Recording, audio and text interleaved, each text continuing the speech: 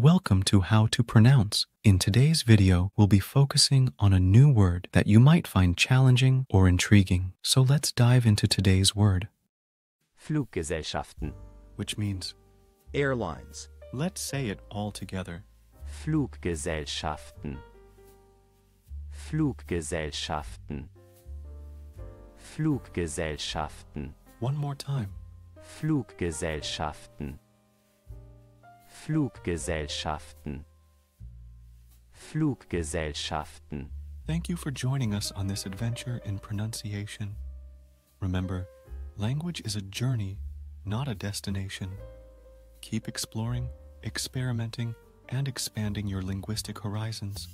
We'll see you next time.